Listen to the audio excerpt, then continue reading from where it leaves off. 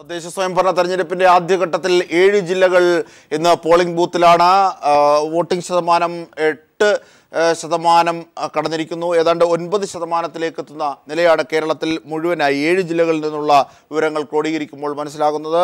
തിരുവനന്തപുരത്ത് മാത്രം ഏതാണ്ട് പന്ത്രണ്ട് ശതമാനത്തോളം പോളിംഗ് രേഖപ്പെടുത്തി കഴിഞ്ഞു. കൊല്ലം പത്ത് ശതമാനത്തിലധികമായി ഇടുക്കിയും കോഴിക്കോടും ഒക്കെ പത്ത് ശതമാനം കടക്കുന്ന വിവരങ്ങളാണ് അറിയുന്നത്. ഇപ്പോൾ തലസ്ഥാനത്തെ വിവരങ്ങളുമായി ഞങ്ങളുടെ പ്രതിനിധി സുനിൽ അരുമാനൂർ കൂടി ചേരുന്നു സുനിൽ വളരെ ശ്രദ്ധയോടുകൂടി ഒരു പക്ഷേ കേരളം നോക്കുന്ന തെരഞ്ഞെടുപ്പുകളിൽ ഒന്നുകൂടിയാണ്. തലസ്ഥാന നഗരത്തിലേത് മഴ ആദ്യം ചെറിയ തോതിൽ തെരഞ്ഞെ പോളിങ്ങിനെ ബാധിച്ചുവെങ്കിലും പക്ഷേ അതിനെ അതിജീവിക്കുന്ന ഒരു കാഴ്ചയാണ് ഏറ്റവും പുതിയതായി ലഭിക്കുന്നത്. പന്ത്രണ്ട് ശതമാനം കഴിഞ്ഞിരിക്കുന്നു. തീർച്ചയായും പന്ത്രണ്ട് ശതമാനം ഇപ്പോൾ തിരുവനന്തപുരം ജില്ലയിൽ വോട്ടിംഗ് പിന്നിട്ടിരിക്കുകയാണ്. ആദ്യം നല്ല മഴയുണ്ടായിരുന്നു ഇപ്പോഴും ചാറ്റൽ മഴയുണ്ട്. അതുകൊണ്ട് തന്നെ വലിയ രീതിയിലുള്ള ക്യൂ. തിരുവനന്തപുരത്ത് കോർപ്പറേഷൻ വാർഡുകളിൽ ഇപ്പോൾ ഇല്ല. എന്നാൽ ഗ്രാമപ്രദേശങ്ങളിൽ വലിയ രീതിയിലുള്ള ക്യൂ തന്നെയാണ് ഇപ്പോഴും ഉള്ളത് രാവിലെ മുതൽ തന്നെ വോട്ട് രേഖപ്പെടുത്താനായി വോട്ടർമാർ എത്തുന്ന സ്ത്രീകളടക്കം എത്തുന്ന ഒരു കാഴ്ചയാണ്. അതുകൊണ്ട് തന്നെയാണ് പന്ത്രണ്ട് ശതമാനം ആദ്യ ഒന്നര മണിക്കൂർ പിന്നിടുമ്പോൾ നമുക്ക് അത്തരത്തിലുള്ള ഒരു പോളിംഗ് ശതമാനം വരാനുള്ള കാരണം. ഇതുവരെ ഒരു ബൂത്തിലും വേറൊരു തരത്തിലുള്ള വോട്ടിംഗുമായി ബന്ധപ്പെട്ട് ഒരു പ്രശ്നം ഉണ്ടായിട്ടില്ല. വോട്ടിംഗ് തടസ്സപ്പെടുന്ന തരത്തിലുള്ള ഒരു പ്രശ്നം ഉണ്ടായിട്ടില്ല. വളരെ സിസ്റ്റമാറ്റിക് ആയിട്ട് തന്നെയാണ് ഇപ്പോൾ പോളിംഗുമായിട്ട് മുമ്പോട്ട് പോകുന്നത്. പ്രത്യേകിച്ച് തീരദേശ മേഖലകളിൽ ഇപ്പോൾ നല്ല രീതിയിലുള്ള ഒരു പോളിംഗ് ആണ് രേഖപ്പെടുത്തുന്നത് വലിയതുറ പൂന്തുറ മേഖലകളിൽ നല്ല രീതിയിലുള്ള പോളിംഗ്. ഭീമാവളിയിലെ വിവിധ പോളിംഗ് സ്റ്റേഷനുകളിൽ നിന്നുള്ള വിവരം അനുസരിച്ച് അവിടെയും നല്ല രീതിയിലുള്ള പോളിംഗ് ഉണ്ട്. കാരണം ഭീമാവളിയിൽ ഏറ്റവും കൂടുതൽ സ്ഥാനാർത്ഥികൾ മത്സരിക്കുന്ന ഒരു വാർഡ് കൂടെയാണ് കോർപ്പറേഷൻ നൂറ് വാർഡുകളിൽ ഒന്നുകൂടിയായ ഭീമാവളിയിൽ വരുന്നത്. പ്രത്യേകിച്ച് യു ഡി എഫിന് റിബൽ സ്ഥാനാർത്ഥികളുള്ള തലസ്ഥാന കോർപ്പറേഷനിലാണ് എന്നുള്ളത് വേറെ ശ്രദ്ധേയമാണ്. അതോടൊപ്പം തന്നെ എസ് ഡി പിയിലെ സ്ഥാനാർത്ഥികളും പേട്ടയിലടക്കം ആ, പേട്ടയും ചെമ്പഴുതിയിലും അടക്കം മത്സര രംഗത്തുണ്ട് എന്നുള്ളതും തലസ്ഥാനത്തിന്റെ ഒരു പഞ്ചായത്ത് തിരഞ്ഞെടുപ്പിനെ വ്യത്യസ്തമാക്കുന്നുണ്ട്. ഇനി നമ്മൾ നഗരസഭയിലേക്ക് പോവുകയാണെങ്കിൽ നെയ്യാറ്റിൻകരയിൽ നല്ല രീതിയിലുള്ള ഒരു പോളിംഗ് ആണ് ഇപ്പോൾ അനുഭവപ്പെട്ടുകൊണ്ടിരിക്കുന്നത്. നെയ്യാറ്റിൻകര നെടുമങ്ങാട് മലയോര മേഖലകളിൽ മഴ ഇപ്പോഴും തുടരുന്നു എന്നുള്ള വാർത്ത പ്രത്യേകിച്ച് പാലോട് ആനാട് ഡിവിഷനുകൾ ജില്ലാ പഞ്ചായത്തിന്റെ ഈ ഡിവിഷനുകളിൽ പോളിംഗ് സ്റ്റേഷനുകളിൽ വലിയ രീതിയിലുള്ള മഴ അനുഭവപ്പെടുന്നുണ്ട്. തന്നെ അവിടെ ഇപ്പോൾ തിരക്കില്ല എന്നുള്ളതാണ് നമുക്ക് ലഭിക്കുന്ന വിവരം. മറ്റ് വർക്കലയിലും അതുപോലെ തന്നെ ആ, ഒക്കെ നല്ല രീതിയിലുള്ളൊരു പോളിംഗ് ആണ് ഇപ്പോൾ രേഖപ്പെടുത്തിക്കൊണ്ടിരിക്കുന്നത്. അടുത്ത രണ്ട് ഒരു മണിക്കൂറൂടെ കഴിയുമ്പോഴേക്കും ശതമാനം എന്തായാലും ഒരു പതിനെട്ട് ശതമാനത്തിലേക്ക് എത്തും എന്നുള്ളത് തന്നെയാണ് നമുക്ക് നേരത്തെ ഒരു കണക്ക് വെച്ചിട്ട് പറയാൻ പറ്റുന്നത്. നൂറ്റി എഴുപത്തി മൂന്ന് ബൂത്തുകൾ തലസ്ഥാനത്ത് പ്രശ്നബാധിത ബൂത്തുകളായി ഐഡന്റിഫൈ ചെയ്ത് കനത്ത സുരക്ഷ ഒരുക്കി തന്നെയാണ് മുന്നോട്ട് പോകുന്നത്. പതിനൊന്ന് ബ്ലോക്ക് പഞ്ചായത്തുകളിലെ വാർഡുകൾ പതിനൊന്ന് ബ്ലോക്ക് പഞ്ചായത്തുകളും അതോടൊപ്പം തന്നെ ഇരുപത്തിയാറ് ജില്ലാ പഞ്ചായത്തിൽ ഇരുപത്തിയാറ് ഡിവിഷനുകളുണ്ട്. ശക്തമായിട്ടുള്ള മത്സരമാണ് ഇവിടെ നടക്കുന്നത്. സ്ഥാനാർത്ഥികളൊക്കെ തന്നെ രാവിലെ മുതൽ തന്നെ. ഞാനിപ്പോൾ നിൽക്കുന്ന സെന്റ് ജോസഫ് സ്കൂളിലെ വഞ്ചൂർ വാർഡിലെ ബൂത്തുകളാണ് ഇവിടെ ഉള്ളത്. അഞ്ച് ബൂത്ത് ഇവിടെ നാല് ബൂത്തുകളും വഞ്ചൂർ സ്കൂളിലായിട്ടാണ് മറ്റു ബൂത്തുകൾ വഞ്ചൂർ വാർഡിന്റെ ക്രമീകരിച്ചിരിക്കുന്നത്. ഇവിടെ സ്ഥാനാർത്ഥികൾ രാവിലെ മുതൽ തന്നെ എത്തി വോട്ടർമാരെ നേരിൽ വോട്ടർമാർക്ക് മുമ്പിൽ പ്രത്യക്ഷപ്പെടുന്നതിന്റെ ഭാഗമായി തന്നെ സ്ഥാനാർത്ഥികൾ ഇവിടെ നിൽക്കുന്നുണ്ട്. തിരിച്ചറിയൽ രേഖകളൊക്കെ ഹാജരാക്കി തന്നെയാണ് വോട്ടർമാർ വോട്ട് രേഖപ്പെടുത്തുന്നത്. പക്ഷേ കോർപ്പറേഷനിലുള്ളവരെക്കാൾ കൂടുതൽ ഭാഗ്യം ലഭിച്ചിരിക്കുന്നത് നഗരസഭാ മേഖലയിൽ അതുപോലെ തന്നെ പഞ്ചായത്തുകളിലൊക്കെ വോട്ട് ചെയ്യുന്നവരാണ്. പഞ്ചായത്തിൽ വോട്ട് ചെയ്യുന്നവർക്കാണ് മൂന്ന് വോട്ട് രേഖപ്പെടുത്താം എന്നുള്ളതാണ്. മൂന്ന് ഇലക്ട്രോണിക് വോട്ടിംഗ് മെഷീനാണ് ക്രമീകരിച്ചിരിക്കുന്നത്. ഗ്രാമപഞ്ചായത്ത് ബ്ലോക്ക് പഞ്ചായത്ത് ജില്ലാ പഞ്ചായത്ത്. ഇതിന്റെ മൂന്ന് മൂന്ന് നിറങ്ങളാണ് ഇതിനകത്ത് ബാലറ്റ് പേപ്പറിൽ കൊടുത്തിട്ടുള്ളത്. അതിനകത്ത് വെള്ള ഗ്രാമപഞ്ചായത്തും വയലറ്റ് നിറം ഇതിനകത്ത് രണ്ടാമത്തെ ബ്ലോക്ക് പഞ്ചായത്തിനകത്തും ബ്ലൂ ലൈറ്റ് ബ്ലൂ ജില്ലാ പഞ്ചായത്തിനുമാണ് കൊടുത്തിരിക്കുന്നത്. അതുകൊണ്ട് തന്നെ അവിടെ വോട്ടർമാർ വളരെ ശ്രദ്ധയോടുകൂടി വോട്ട് രേഖപ്പെടുത്തണം. നോട്ട ഇല്ലെങ്കിൽ പോലും ഒരു സ്വിച്ച് അവർക്ക് വേണ്ട എന്നുണ്ടെങ്കിൽ അത് ഓഫ് ചെയ്ത് അത് പൂർത്തിയാകുന്ന രീതിയിൽ ഒരു സ്വിച്ച് താഴെ എൻഡ് എന്നുള്ള ഒരു സ്വിച്ച് ഉണ്ട് അതിനമർത്തി കഴിഞ്ഞാൽ അവർക്ക് വോട്ട് രേഖപ്പെടുത്താതെ തന്നെ മടങ്ങാവുന്ന ഒരു രീതിയുമുണ്ട്. അപ്പോൾ കൃത്യമായി വോട്ടർമാർ അത് നോക്കി ബോധ്യപ്പെട്ട ശേഷം മാത്രമേ പുറത്തു വരാവൂ എന്നുള്ളതുകൊണ്ട് നല്ല രീതിയിലുള്ള ഒരു ക്യൂ അവിടെ അത്യം അധികം സമയം എടുക്കുന്നുള്ള ക്യൂ അനുഭവപ്പെടുന്നുണ്ട്. അഞ്ച് മണിവരെ കൃത്യം അഞ്ച് മണിക്ക് തന്നെ പോളിംഗ് അവസാനിപ്പിക്കും. അഞ്ച് മണിവരെ ക്യൂവിലുള്ളവർക്ക് ടോക്കൺ കൊടുത്ത് വോട്ടിംഗ് സംവിധാനം നടത്താനാണ് തെരഞ്ഞെടുപ്പ് കമ്മീഷൻ നിർദ്ദേശമനുസരിച്ച് ചുമതലപ്പെടുത്തിയിട്ടുള്ള ഓഫീസർമാർ. പോളിംഗ് ഓഫീസർമാർ കൃത്യമായി തന്നെ സിസ്റ്റമാറ്റിക് ആയിട്ട് കാര്യങ്ങളുമായി മുന്നോട്ട് പോകുന്നു. ശരി സുനിൽ. സുനിലാണ് തിരുവനന്തപുരത്ത് നിന്നുള്ള വിവരങ്ങൾ നൽകിയത്. ഇപ്പോൾ തെരഞ്ഞെടുപ്പ് കമ്മീഷന്റെ ഓഫീസിൽ നിന്നും ഏറ്റവും പുതിയ വിവരങ്ങളുമായി ഞങ്ങളുടെ പ്രതിനിധി മിനീഷ് ചേരുന്നു. മിനീഷ് അതായത് മഴയെ തുടർന്ന് ആദ്യം ഒരു ചെറിയ ആശങ്ക ഉണ്ടായിരുന്നെങ്കിലും അതിനെയൊക്കെ അതിജീവിക്കുന്ന കാഴ്ചയാണ് കാണുന്നത്.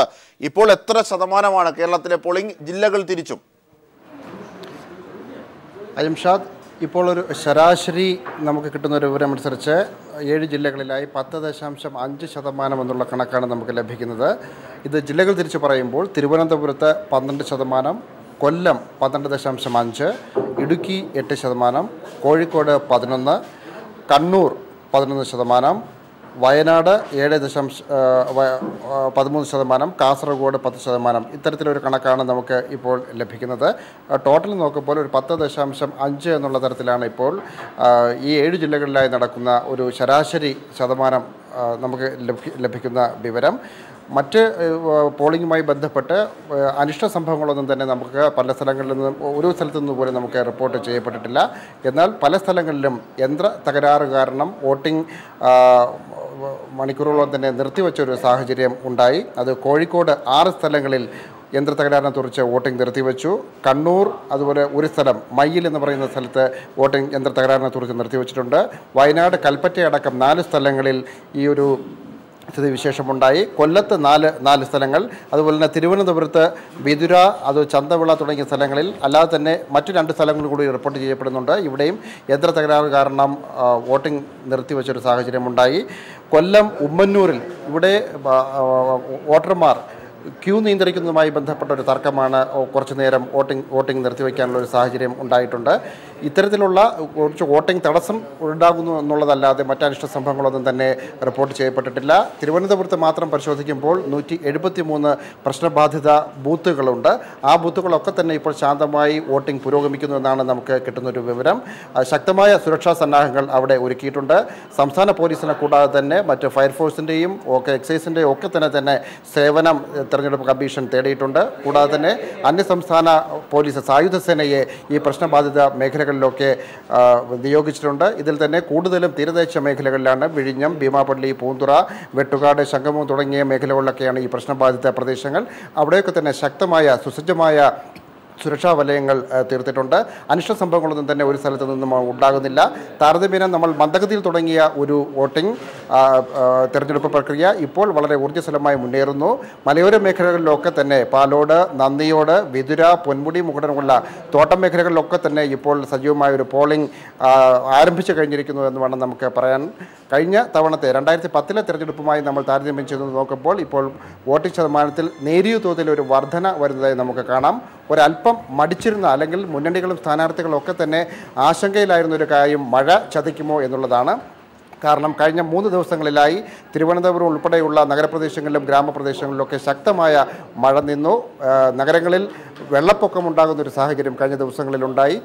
ഇതൊക്കെ തിരഞ്ഞെടുപ്പിനെ ബാധിക്കുമോ വോട്ടിങ്ങിനെ ബാധിക്കുമോ എന്നുള്ളൊരു ആശങ്ക നിലനിന്നിരുന്നു. എങ്കിൽ തന്നെയും എൽ ഡി എഫ് കണക്ക് കൂട്ടുന്നതനുസരിച്ച് ഒരു ഭരണവിരുദ്ധ വികാരം ജനങ്ങളിലുണ്ട്. അതൊക്കെ വോട്ടാക്കി മാറ്റാൻ കഴിയുമെന്നുള്ളൊരു പ്രതീക്ഷ തന്നെയാണ് എൽ ഡി എഫിനുള്ളത്. അത്തരത്തിലുള്ള ആൾക്കാർ ജന ജനങ്ങൾ വോട്ട് രേഖപ്പെടുത്താൻ ഏത് തടസ്സത്തെ അവഗണിച്ചും ബൂത്തിലേക്ക് എത്തിച്ചേരുമെന്നുള്ളൊരു പ്രതീക്ഷ തന്നെയാണുള്ളത്.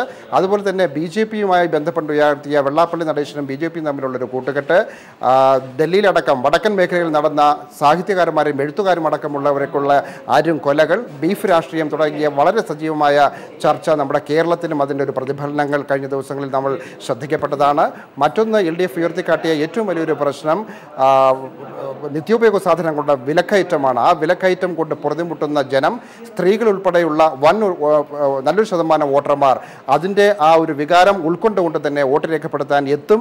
അത് ഏത് മഴയെ അവഗണിച്ചും പോളിംഗ് ബൂത്തിലേക്ക് എത്തും എന്നുള്ള ഒരു പ്രതീക്ഷ ബിനീഷ് വിവരങ്ങൾ നൽകി വന്നത്. കേരളത്തിൽ ഏതാണ്ട് പത്ത് ദശാംശം അഞ്ച് ശതമാനം പോളിംഗിലേക്ക് എത്തിയിരിക്കുന്നു. ജില്ലകൾ തിരിച്ച് തിരുവനന്തപുരം കൊല്ലം ഇടുക്കി കോഴിക്കോട് വയനാട് കണ്ണൂർ കാസർഗോഡ് തുടങ്ങിയ ജില്ലകൾ തിരിച്ചുള്ള പോളിംഗ് ശതമാനങ്ങളാണ് ഔദ്യോഗിക കണക്കുകൾ പ്രകാരം ഇപ്പോൾ മിനീഷ് കുമാർ ഞങ്ങളുടെ പ്രതിനിധി നൽകിയത്.